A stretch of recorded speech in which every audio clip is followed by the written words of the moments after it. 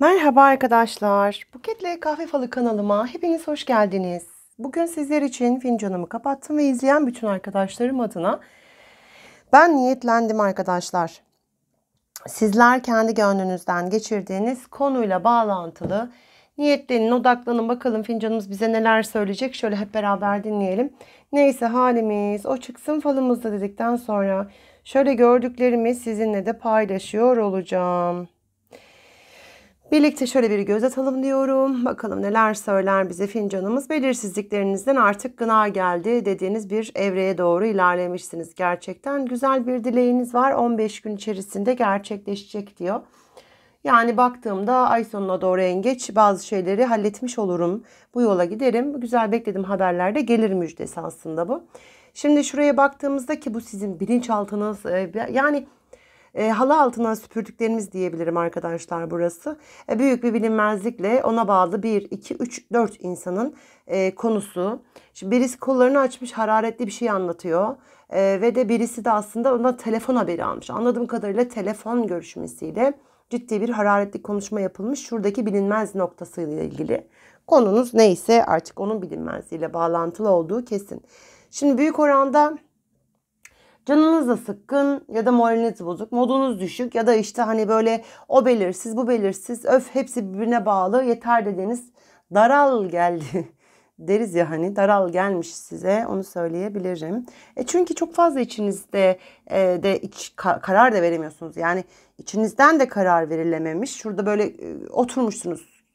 E, işte iki tarafa hatta bir iki üç tarafa da böyle bir şeyler yapıyorsunuz. Ama etrafınız öyle laf, söz işte herkesin etkisi olan bir şey yani. Tek bağımsız olsanız ben tek başıma olsam bilirim ne yapacağımı deriz ya zaman zaman. Öyle bir döngü atlatmışsınız. 35 rakamı verdi burada. Yaklaşık son bir aydır böyle olduğu kesin. 35 bin TL, 35 lira, 35 kuruş, 35 gün bilmiyorum. 35 yaşındayım diyebilirsiniz. Yani kendinizce ne olduğunu bilemiyorum tabii ki de. Bir kolu uzatmışsınız yalnız böyle şey gibi çok planlı bir şekilde yavaş yavaş dürtüp Dur bakalım ne düşünecek diyecekmişsiniz gibi. Elinizde bir anahtar var. Bu anahtarla alakalı şey yapıyorsunuz arkadaşlar. Ee, ne diyelim ona? Anahtarlı durumu e, dürtüyorsunuz. Yani ben şunun bir nabzını ölçeyim bakayım. Nabzı da göre şerbet de veririm. Dediğiniz bir durum var. Benim buradan anladığım bu açıkçası. Şimdi bugününüze geldiğimde açıkçası bu anahtar durumuyla alakalı sanki sonuç bekler gibisiniz. Sanki 15 gündür bir şeyleri bekliyorsunuz da şu son e, işte ne diyelim bu hafta belli olsun artık. Kasım çıkmadan 20'si gelmeden belli olsun. Kendinizce bir gün e, belirlemişsiniz. Şöyle bakalım neymiş. Emek veriyorsunuz. Bununla alakalı bu konuyla ilgili emek verdiğiniz konunun para dönüşü ne zaman olur? Dediğiniz bir döngüymüş gibi doğru. Yani bir süredir zaten karşı tarafı dürterek gibi bir şekilde kendinizi hissettirerek bir şeyler yapmaya çalışmışsınız. Tavus kuşu var. Şimdi tavus kuşunun kuyruk kısmında birisi duruyor, kafa kısmında birisi duruyor. Ve siz bu tavus kuşunun hemen karşısındasınız. Etrafınızda yine şu bilinmezliğin aynısı daha küçülmüşü. Demek ki bir şeyleri artık yoluna koymaya başladınız. Demek ki bazı sonuçlar, çözümler bulmaya başladınız. E, bununla alakalı da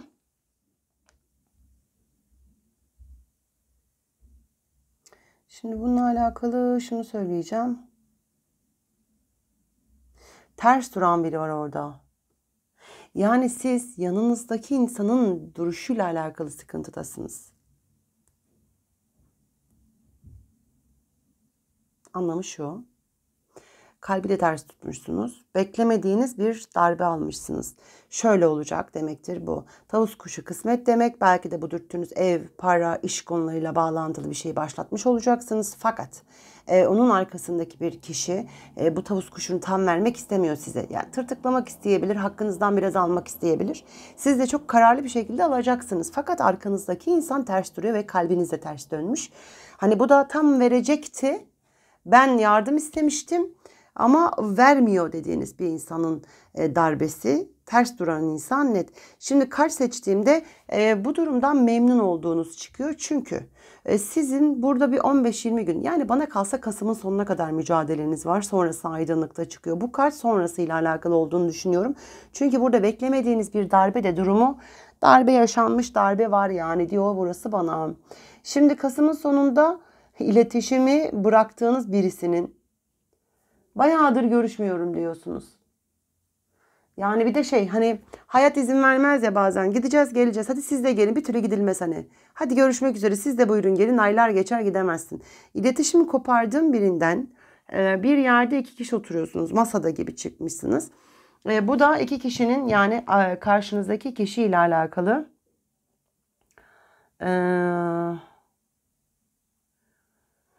Hani bu Kasım'ın sonunda dedik ya arkadaşlar bu Kasım sonrasında sizin rahatlama evreniniz var. Sonrasında da biriyle görüşeceksiniz. Bu görüşme sanki bunun sonrasında yapsak iyi olur dediğiniz birisi gibi bir şey gibi. Çünkü altta da bir bayağı konuşmalar var.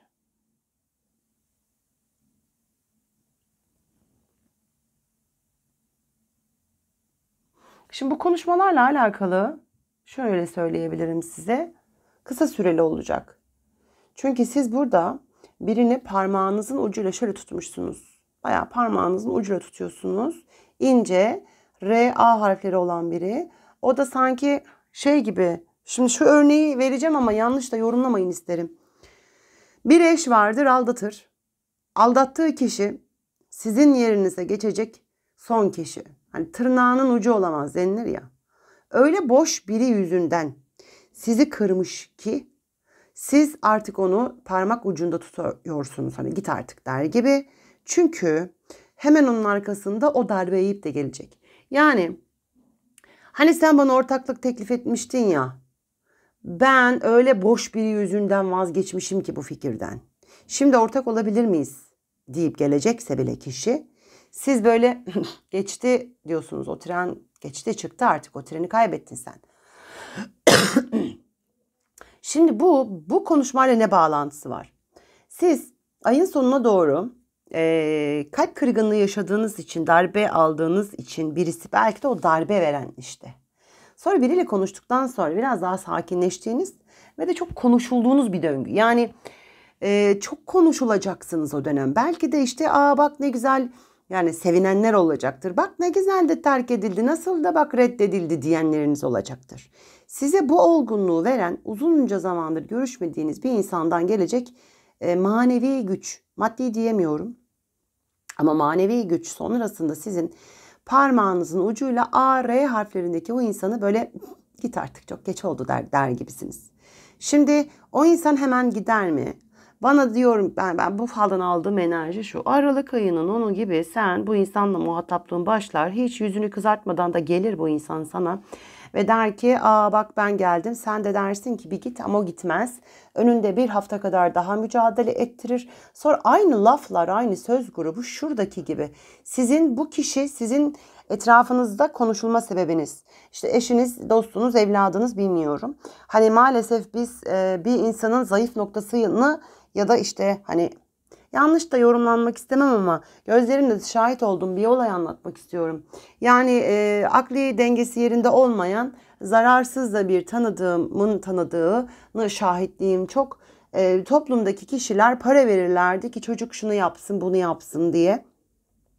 Hani bunu bizzat gördüm. Baya koca koca adamlar, insanlar para veriyorlardı ki gitsin şu çirkin lafı işte hareketi yapsın diye.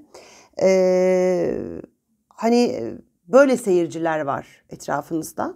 Sizin bu başınıza bu gelmesi bak ne güzel de boşandı bak gördün mü ona ayrılmış falan diyen insanlar.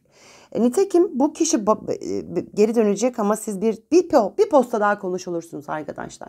Çevrenizdeki insanlar çok konuşmaya yatkın insanlar. Az önce verdiğim örnekteki tarzda en azından niyet kötü yani aynısı demek istemedim ama niyet o, o anlamda kötü. Çatı kurmak istiyorsunuz. Bakın bir çatınız çıkmış. Bu laflar sonrasında bir çatıda toplanma durumu var. Aralık sonu itibariyle çatınızı oluşturduğunuzu net görüyorum. Şimdi size burada pişman olup da gelecek olan insanınız her kiminiz ise ama iş olsun ama aşk olsun ama dost olsun bilmiyorum. Aile ferdi olur, kuzeniniz gelir bilmiyorum. Ama neticede bu insanın size çok bir faydası da artık yok diyebilirim açıkçası. İnsanlarınızın konuşuyor olduğunu söylemiştim. Nazar etkisi alıyorsunuz diyebilirim. Anlamı şu. Çok konuşulduğunuz bir döngüde, e, çok net e, boş laflarınızın döndüğü bir döngüde Gözyaşınız olur. Tertemizde bir aşk hayatınızda başlar ben size söyleyeyim. Şimdi şöyle yapalım. Şunu üstte tutalım. Herhalde daha net görünüyor böylesi. Şimdi arkadaşlar e, bazı varsayımlarınız var. Burada sizin de e, çok haklı olarak biraz yoğurdu üflemek tabiri vardır ya. Siz burada e, yoğurt üflersiniz, ayran üflersiniz. Neyse ne yani sütten yanmış bir kere o ağız diyor bana işin özü. Eee... Şöyle söylemek isterim. Varsayımlarınız birazcık törpüleyin varsayımlarınızı. Yani bazen de e, yaşamadan da göremeyiz neticede. O yüzden size nacizane tavsiyem yaşayacak olacaksınız. Dolayısıyla varsayımlarla önünüzü kapatmayın. Ayağınızda kariyer anlamında güzel bir kısmet olmuş. Gayet kariyer olarak önünüz açık ama genel yaşam tarzı olarak baktığımda vesveseli bir yapınızın olduğunu panik atak e, milvalinde hani böyle birazcık abartılı, birazcık daha böyle kaygılı ya da hep olumsuzu düşünen, çeken bir tarafınızın olacağını söylüyor. Bu konuşmalar sonrasında iki kere gündem yaratacaksınız benim anladığım ikinci sebepten sonra az önce verdiğim örnekteki misal yani ikinci sebepten sonra biraz daha aman bunu yapmayayım da bana da şunu demesinler diyeceksiniz. El Faldı diyor ki bak boşu boşuna bunların önüne geçemezsin derler. Niye oldu derler, niye yapmış derler. Mışlar mişler olur biliyorsunuz. Hepimiz yaşıyoruz. Zaman zaman duyuyoruz hayatımızda. Keza evinizle alakalı da bir de ben burada şöyle söyleyeyim size. Kariyer hayatınızın kısmetli olduğunu, aşk hayatınızın sakin olduğunu söylüyor. İçteki bu ama iç dünyanız ama aile içi e, konuşmalardan kaynaklanan bazı vesveseler olmuş olsa da e, vesveseyi kalıplaştırma riskiniz var. O yüzden burada kontrol aslında sizde olacak bilginiz olsun arkadaşlar. Konuşanlar konuşmaya devam edecekler. Sen ne yaparsan yap herkes aynı anda memnun edemeyeceksin. Yine kendimden bir örnek vereyim. Bir fal videosu yayınlıyorum. Bazı arkadaşlarımız nokta atış diyor. Bazıları diyor ki işte çok güzel anlattın diyor. Kimisi diyor ki ne biçim anlattın sen ya diyor ya böyle rezillik olur mu mesela. Hani dolayısıyla bu herkesi aynı anda memnun etmen, mutlu etmen mümkün değil. Yüreğindeki kaygı bununla bağlantılı. Burada da abartmaya meyillisin. Bence bunun önüne al enerjisi vermiş. Çünkü en bereketli dönemin Ocak sonrası. Aile içi Şubat Mart kadar daha konuşulacaktır. Sen zaten konuşulabilir miyim diye kaygılanacaksın. Boşu boşuna zaman kaybettirirsin. Aşk hayatını stabil gösteriyor. Bekarlık sultanlıktır ya da yalnızlık Allah'a mahsustur. İkinci baharımdayımdır. İşte vesaire ne diyorsanız artık ilişkiler konusunda orada gayet hayat e, rayında diyor. Şimdi ben bereketli gördüğüm iş hayatınızla alakalı bir kar seçeceğim. İkilemler var diyor. Bence burada yüreğinizdeki sıkıntıyla işe birbirine bağlantılı yansıtabilirsiniz. O yüzden içinizi bence kontrol altına alın. Bu ikilem içinizdeki mutsuzlukla işe yansıtma ikilemi. Yüreğinizin ortasında bak bolluğu, bereketi kendine çekeceksin. Üreme, çoğalma, kadın, dişisel bereket enerjisidir her şekilde. Üretmektir yani. E, dolayısıyla da e, burada bereketin yerinde olacak. Boşuna kaygılanma diye tekrar altına e, imza atayım. Son olarak aşk hayatınızdaki stabillikle alakalı bir erkek bunu sağlıyor diyor. Erkekten kaynaklanıyor diyor. Ya da bir izleyici erkek arkadaşlarımın rahatlığıdır. Erkekten kaynaklanan bir stabil ama rahatlama oh be stabil gidiyor. İşte hani yükü ona bırak. Faturalar artık o ödüyor. Ben hiç düşünmüyorum deriz biz kadın olarak bazen işte. Hani önceden her türlü e, yük sendedir kadın olarak hayata e, her şekilde göğüslenmişsindir ama burada erkeğe bırakacak. Erkek sayesinde bir stabillik söz konusudur desem olur. Erkek sayesinde bir aşk hayatını yaşarsın ama stabil gider. Neyse ne. Hani burada bir erkeğin de sebebiyet verdiği bir durum olduğunu söylemek isterim. Sadece görebildiklerimi aktarmaya çalışıyorum. Bugünlük benden bu kadar. Dinlediğiniz için çok teşekkür ediyorum arkadaşlar. Geldik bir öğrenci e, velileri, anneleri, babaları olarak bir ara tatile. E, dolayısıyla umarım herkes gittiği yerlerde ya da evinde huzurlu bir şekilde sakin bir hafta geçirsin temennisinde bulunmaktayım. Haftanın son gününden herkese kucak dolu selam sevgiler. Ben sabah akşam iki bakımda karşınızdayım. Ee, öncelikle enerjinize sağlık, ruhunuza sağlık. İyi ki varsınız. Çünkü ben zaten Sizlerden aldığım enerjiden sebep e, burada şey yapabiliyorum. Ee, gerçekten öyle. Öyle güzel mesajlar alıyorum ki özelden. Eksik olmayın, var olun gerçekten. iyi ki varsınız. Benim için çok kıymetli. Neden? E çünkü karşılıklı aldığımız enerji alışverişi var. Sayenizde çok mutlu olduğum zamanlarım oluyor benim. Yorumlarınız benim için çok kıymetli. E ben de hayat tecrübelerimden bir iki kelam ediyorum ama birisinin hayatına dokunmuş oluyorum. Ben bunu fark etmeden. Bu minvalde mesajları aldığım için de inanılmaz mutlu oluyorum tabii ki de. Gönlünüze, ruhunuza sağlık arkadaşlar. Hepimizin yolu her zaman açık olsun. Gönlümüzden geçirdiklerimiz hepimizin için bir an evvel gerçekleşsin. Şimdi birisi senin canını yakmış. Bugünkü sınavım bu. Evet derdine derman olamam ama yüreğine şu, şu suyu serpmeni isterim. Beddua ettiği zaman hiçbir şey eline geçmeyecek çünkü. E bu karşındaki kişi var ya o zaten karma yarattı artık ona geçmiş olsun. Sen bu sınavını atlat sağ salim. Nasıl daha öncekilerini atlatabildiysen bunu da atlatacaksın. Neden? Güçlü karaktersin. Hayat seni yorduğu için bazen gücünü unutuyor insan. E bunun için sabırsız oluyor. Bunun için öfkeli oluyor. Üç günlük dünya arkadaşlar. Yani yakın zamanda biliyorsunuz.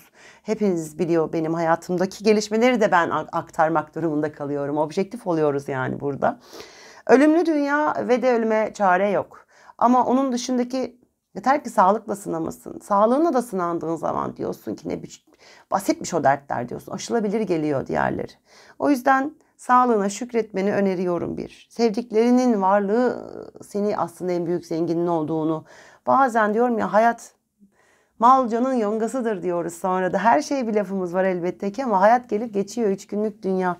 Neyi kattığına, ne aldığına bakmak lazım. Bugünkü sınavında geçecek buna inancın tam olsun. Şer diyoruz da hayır geliyor. Ancak bunu yarın göreceğiz. O yüzden ya sabır. Umudunuzu yitirmeyin diyorum ve sağlığınıza şükredin diyorum. Bugünlük benden bu kadar arkadaşlar. Dinlediğiniz için teşekkür ederim. Bir sonraki açılıma kadar da en büyük zenginliğimiz. Başta sağlıkla kalın ve hepiniz hoşça kalın.